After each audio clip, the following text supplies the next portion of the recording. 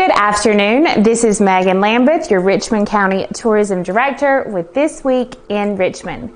We are here at Ellerbe Springs with author BJ Rae, who is going to have a book signing for her new book this Sunday, March 19th from 1 to 4 p.m. here at Ellerbe Springs. BJ, do you want to tell us a little bit about your new book?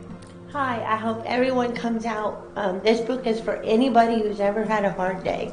Perfect. Okay, so uh, make sure you stop by, and it's just a drop in from 1 to 4. Is that mm-hmm. correct? Correct. All right. Thank you, BJ. Thank you.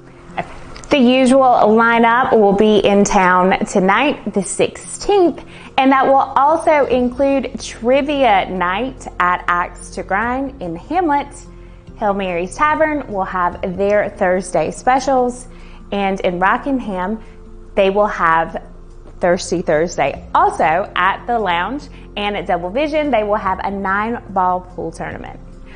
Tomorrow, Friday, March 17th, is St. Patrick's Day. There will be a St. Patrick's Day party in downtown Rockingham with live music featuring the Ponder Project at Hudson Brothers there will be karaoke at Double Vision.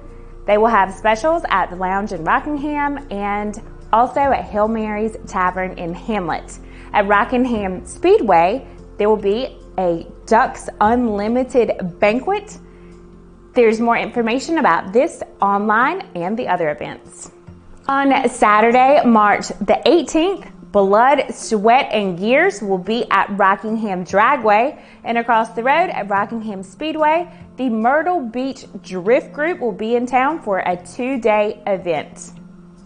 Also, Saturday night, there's an event at Town Creek Indian Mound under the stars.